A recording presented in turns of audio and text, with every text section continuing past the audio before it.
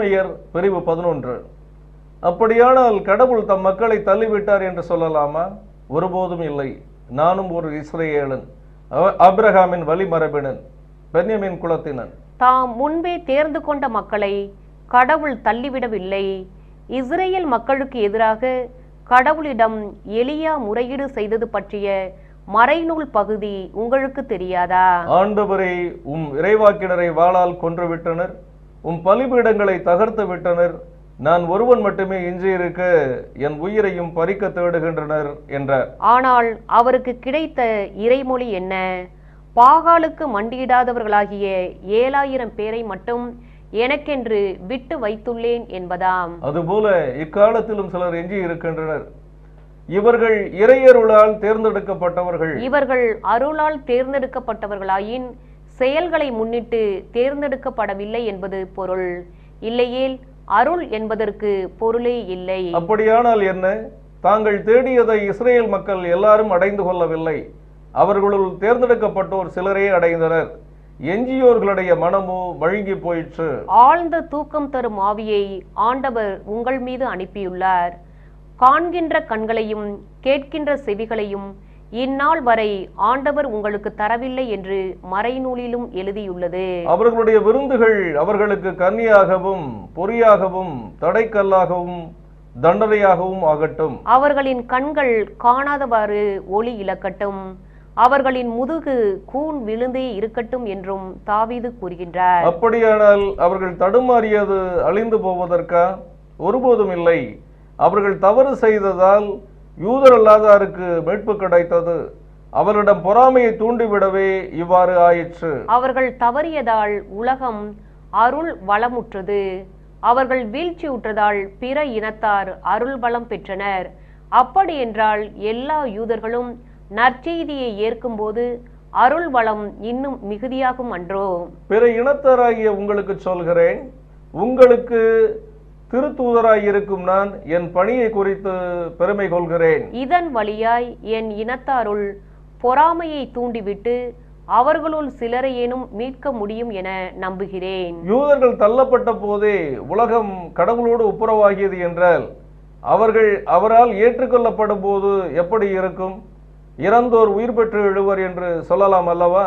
பிசைந்த மாவில் முதலில் ஒரு பிடி எடுத்து கடவுளுக்கு அர்ப்பணித்தால் அம்மாவு முழுதும் அர்ப்பணிக்கப்பட்டதாகிறது. அவ்வாறே மரத்தின் வேர் அர்ப்பணிக்கப்பட்டால் அதன் கிளைகளும் அர்ப்பணிக்கப்பட்டவையாகும். நல்ல ஒளிவ மரம் ஒன்றின் கிளைகள் தரி சில தரிக்கப்பட்டு அந்த ஒளிவ மரத்தில் காட்டொளிவ மரக்கிளை ஒன்று ஒட்டப்பட்டால் அது மரத்தின் செழுமையான வேரிலிருந்து ஊட்டப்பெறுகிறது. அந்த கிளை தரிக்கப்பட்ட கிளைகளை விட தன்னை பெருமையாக கருதலாமா? அந்த காட்டொலிவ மரக்கிளை நீங்களே அப்படியே நீங்கள் உங்களை பெருமையாக கருதினாலும் நீங்கள் வேரை தாங்கவில்லை. வேர்தான் உங்களை தாங்குகிறது என்பதை மறவாதீர்கள். நாங்கள் ஒட்டப்படுவதற்கே கிளைகள் தரிக்கப்பட்டன என நீங்கள் சொல்லலாம். சரிதான். அவர்கள் கடவுள் மேல் நம்பிக்கை கொள்ளாததால் தரிக்கப்பட்டார்கள். நீங்களோ நம்பிக்கையின் காரணமாய் நிலைத்து நிற்கிறீர்கள். ஆகையால் உங்களுக்கு இருக்க வேண்டியது உயர்வு மனப்பான்மை அல்ல அச்ச உணர்வே. ஏனெனில் இயற்கையாய் வளர்ந்த கிளைகளையே கடவுள் வெட்டாமல் விடவில்லை என்றால் ஒட்டப்பட்ட கிளையாகிய உங்களை தண்டிக்காமல் விடுவாரா? இதில் கடவுளின் பரிவையும் கண்டிப்பையும் எண்ணிப் பாருங்கள். தவறி விழுந்தவர்களின் மேல் கண்டிப்பும் உங்கள் மேல் பரிவும் அவர் காட்டுகிறார். நீங்கள் அவருடைய பரிவை பெறுபவர்களாக வாழாவிட்டால் நீங்களும் தரிக்கப்படுவீர்கள். யூதர்களை பொறுத்த மட்டில் அவர்கள் கடவுளிடம் நம்பிக்கை கொண்டிராத நிலையிலிருந்து மாறினால் அவர்களும் ஒட்டப்படுவார்கள். அவர்களை திரும்பவும் ஒட்டுவதற்கு கடவுள் வல்லவர். ஏனெனில் காட்டொலிவ மரத்தில் இயற்கையாய் வளர்ந்த நீங்கள் வெட்டப்பட்டு இயற்கைக்கு மாறாக நல்ல ஒலிவ மரத்தில் ஒட்டு போடப்பட்டீர்களானால் இயற்கை கிளைகளான அவர்களை தாய் மரத்தில் ஒட்டு போடுவது எத்துணை எளிது.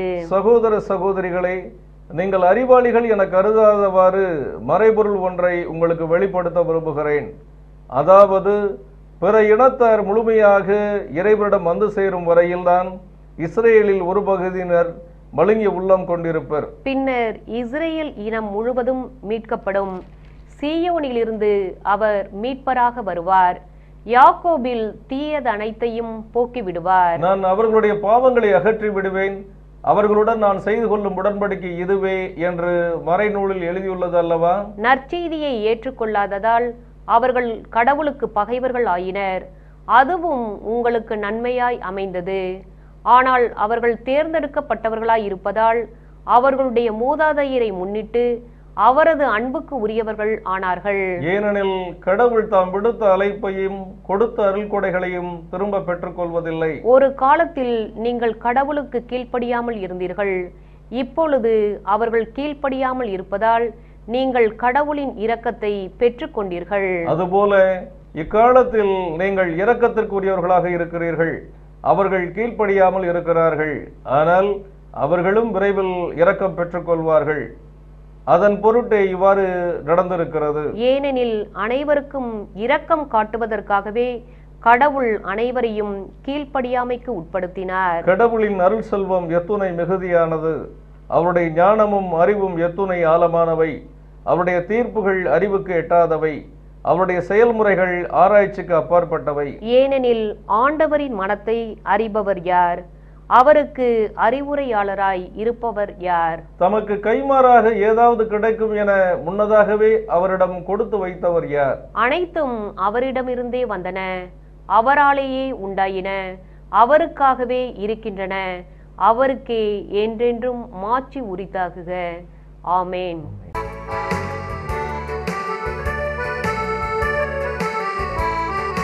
ஆண்டவர்க்கு நன்றி உரைப்பது. நன்று ஆண்டவர்க்கு நன்றி உரைப்பது. நன்று. ரோமியர் பிரிவு பனிரெண்டு.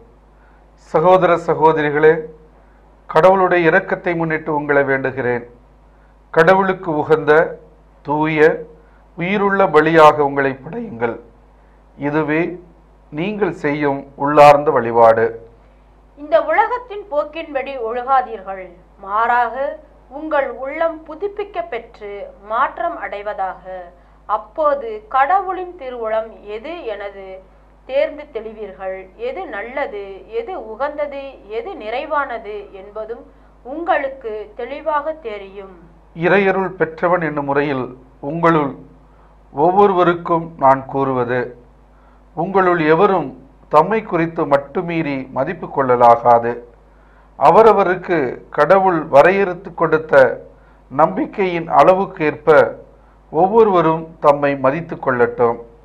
ஒரே உடலில் நமக்கு உறுப்புகள் பல உள அந்த உறுப்புகள் எல்லாம் ஒரே செயலை செய்வதில்லை. அதுபோலவே நாம் பலராயிருந்தாலும் கிறிஸ்துவோடு இணைந்திருப்பதால் ஒரே உடலாய் இருக்கிறோம் ஒவ்வொருவருக்கொருவர் உடன் உறுப்புகளாய் இருக்கிறோம் ஆயினும் நமக்கு அளிக்கப்பட்டுள்ள அருளுக்கேற்ப வெவ்வேறு அருள் கொடைகளை பெற்றுள்ளோம்.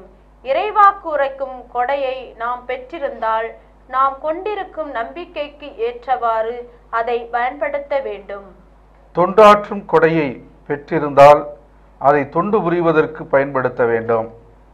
கற்றுக் கொடுப்போர் கற்றுக் கொடுப்பதிலும் ஊக்கமூட்டுவோர் ஊக்கம் தருவதிலும் தமக்குள்ளதை வழங்குவோர் தாராளமாய் கொடுப்பதிலும் தலைமை தாங்குவோர் முழு ஆர்வத்தோடு செயல்படுவதிலும் இரக்கச் செயல்களில் ஈடுபடுவோர் முக மலர்ச்சியோடு அவற்றை செய்வதிலும் தாம் பெற்ற அருள் கொடைகளை பயன்படுத்த வேண்டும். உங்கள் அன்பு கள்ளமற்றதாய் இருப்பதாக தீமையை வெறுத்து நன்மையை பற்றி கொள்ளுங்கள். உடன்பிறப்புகள் போன்று ஒருவருக்கொருவர் உளங்கணிந்த அன்பு காட்டுங்கள். பிறர் உங்களை விட மதிப்புக்கு உரியவர் என எண்ணுங்கள். விடாமுயற்சியோடும் ஆர்வமிக்க உள்ளத்தோடும் ஆண்டவருக்கு பணிபுரியுங்கள். எதிர்நோக்கி இருப்பதில் மகிழ்ச்சி கொள்ளுங்கள். துன்பத்தில் தளரா மனதுடன் இருங்கள். இறை வேண்டலில் நிலைத்திருங்கள்.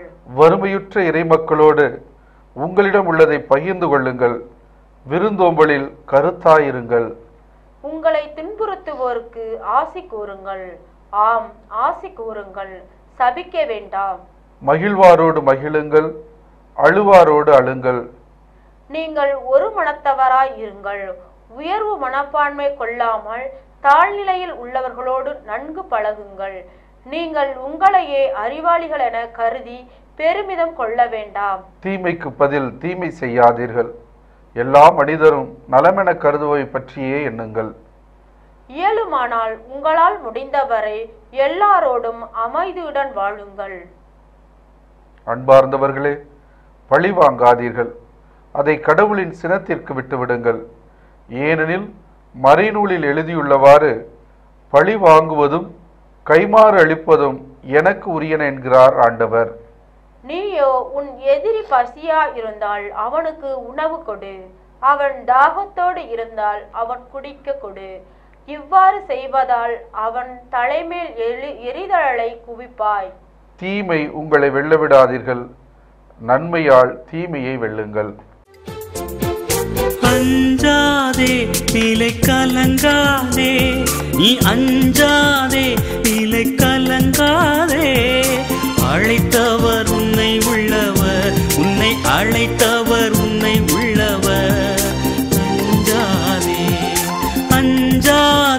இலை கலங்காதே நீ அஞ்சாதே இலை கலங்காதே. அழைத்தவர் உன்னை உள்ளவர் உன்னை அழைத்தவர் உன்னை உள்ளவர். அஞ்சாதே.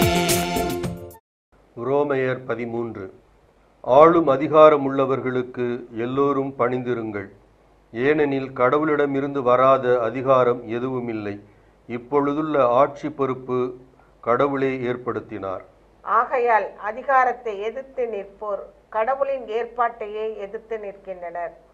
அவ்வாறு எதிர்ப்பவர்கள் தங்கள் மீது தண்டனை தீர்ப்பை தாங்களே வருவித்துக் கொள்கிறார்கள். நற்செயல் செய்வோர் ஆள்வோருக்கு அஞ்ச வேண்டியதில்லை. தீச்செயல் செய்வோரே அஞ்ச வேண்டும். அதிகாரிகளுக்கு அஞ்சாமல் நீங்கள் வாழ விரும்பினால் நன்மை செய்யுங்கள். அப்போது அவர்களிடமிருந்து உங்களுக்கு பாராட்டு கிடைக்கும். அவர்கள் உங்களுக்கு நன்மை செய்வதற்கென்றே கடவுளால் ஏற்படுத்தப்பட்ட தொண்டர்கள். ஆனால் தீமை செய்தால் நீங்கள் அஞ்ச வேண்டியது இருக்கும். அவர்கள் கையில் தண்டிக்கும் அதிகாரம் இருக்கிறது. அது வீணாக அவர்களிடம் கொடுக்கப்படவில்லை. தீமை செய்வோர் மீது கடவுளின் தண்டனையை நிறைவேற்ற அவரே ஏற்படுத்திய தொண்டர்கள் அவர்கள். ஆகவே கடவுளின் சினத்தின் பொருட்டு மட்டுமல்ல மனச்சான்றின் பொருட்டும் நீங்கள் பணிந்திருத்தல் வேண்டும். இதற்காகவே நீங்கள் வரி செலுத்துகிறீர்கள். அவர்கள் தங்கள் பணியை ஆற்றும்போது கடவுளுக்கே ஊழியம் செய்கிறார்கள். ஆகையால் அனைவருக்கும் நீங்கள் செய்ய வேண்டிய கடமைகளை நிறைவேற்றுங்கள். தலைவரி செலுத்த வேண்டியோருக்கு தலைவரியையும் சுங்கவரி செலுத்த வேண்டியோருக்கு சுங்கவரியையும் செலுத்துங்கள். அஞ்ச வேண்டியவர்களுக்கு அஞ்சுங்கள் மதிக்க வேண்டியவர்களை மதியுங்கள். நீங்கள் யாருக்கும் எதிலும் கடன்படாதீர்கள். ஒருவருக்கொருவர் அன்பு செலுத்துவதே நீங்கள் செலுத்த வேண்டிய ஒரே கடனாய் இருக்கட்டும். பிறரிடத்தில் அன்பு கூறுபவர் திருச்சட்டத்தை நிறைவேற்றுபவர் ஆவார். ஏனெனில் விபச்சாரம் செய்யாதே கொலை செய்யாதே களவு செய்யாதே பிறருக்குரியதை கவர்ந்திட விரும்பாதே என்னும் கட்டளைகளும் பிற கட்டளைகளும் உன் மீது அன்பு கூறுவது போல உனக்கு அடுத்திருப்பவர் மீதும் அன்பு கூர்வாயாக என்னும் கட்டளையில் அடங்கியுள்ளன. அன்பு அடுத்திருப்பவருக்கு தீங்கிழைக்காது. ஆகவே அன்பே திருச்சட்டத்தின் நிறைவு. இறுதி காலம் இதுவே என அறிந்து கொள்ளுங்கள். உறக்கத்தினின்று விழித்தெழும் நேரம் ஏற்கனவே வந்துவிட்டது. நாம் கிறிஸ்துவின் மேல் நம்பிக்கை கொண்டபோது இருந்ததை விட மீட்பு இப்பொழுது மிக அண்மையில் உள்ளது. இரவு முடியப் போகிறது. பகல் நெருங்கி உள்ளது. ஆகவே இருளின் ஆட்சிக்குரிய செயல்களை களைந்துவிட்டு ஒளியின் ஆட்சிக்குரிய படைக்கலங்களை அணிந்து கொள்வோமாக பகலில் நடப்பது போல மதிப்போடு நடந்து கொள்வோமாக களியாட்டம் குடிவெறி கூடா ஒழுக்கம் காமவெறி சண்டை சச்சரவு ஆகியவற்றை தவிர்ப்போமாக. தீய இச்சைகளை தூண்டும் ஊனியல்பின் நாட்டங்களுக்கு இடம் கொடுக்க வேண்டாம். இயேசு கிறிஸ்துவை அணிந்து கொள்ளுங்கள். என் வழியும் நீரே என் பலனும்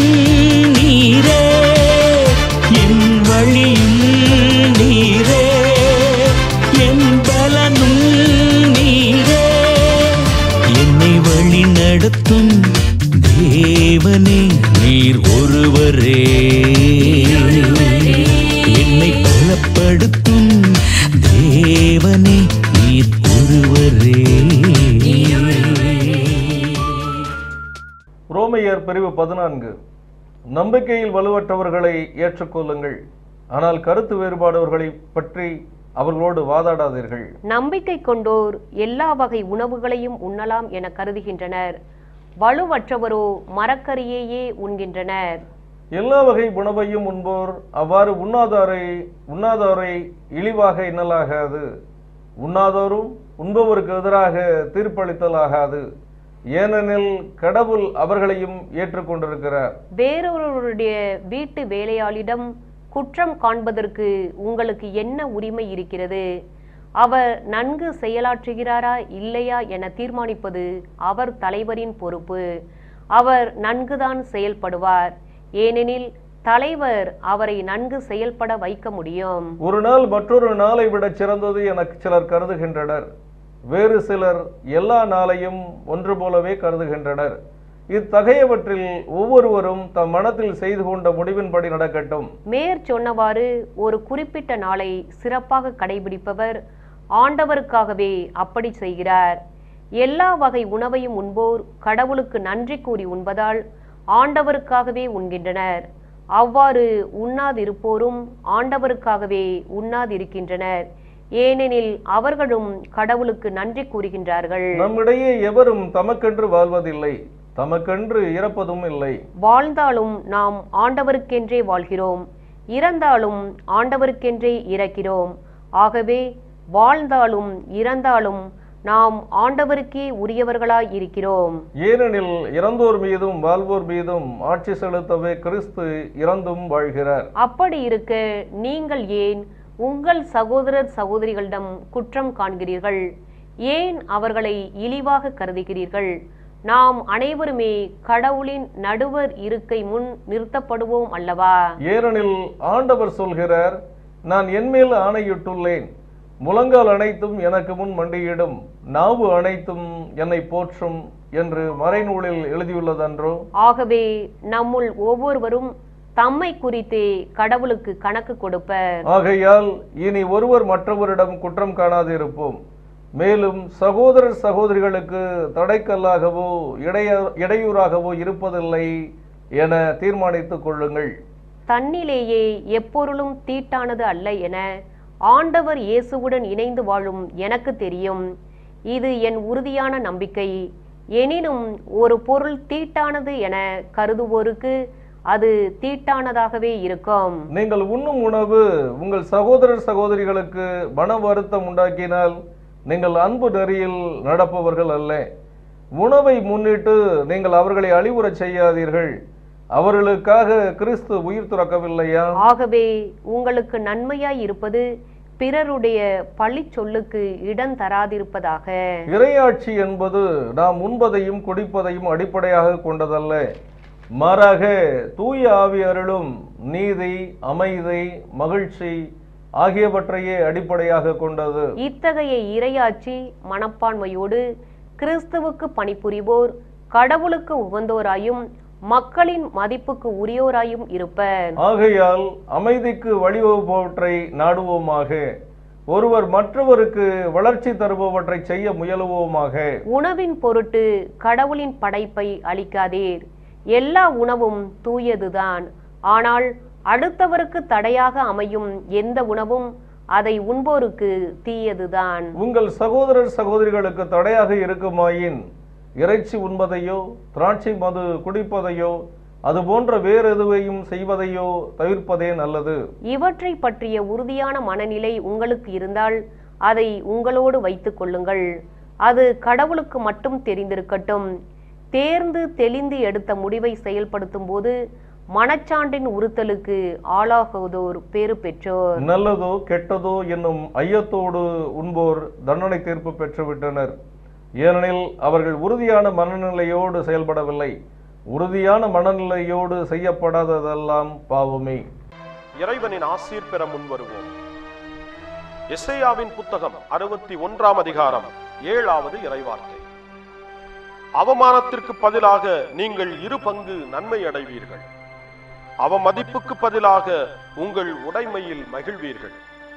ஆதலால் நாட்டில் உங்கள் செல்வம் இருமடங்காகும் முடிவில்லா மகிழ்ச்சியும் உங்களுக்கு உரித்தாகும்.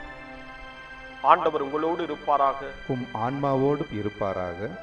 நாட்டில் உங்கள் செல்வம் இரு மடங்காகும் என்று சொன்ன கடவுள் தந்தை மகன் தூய ஆவியார் உங்களுக்கு ஆசி வழங்குவாராக.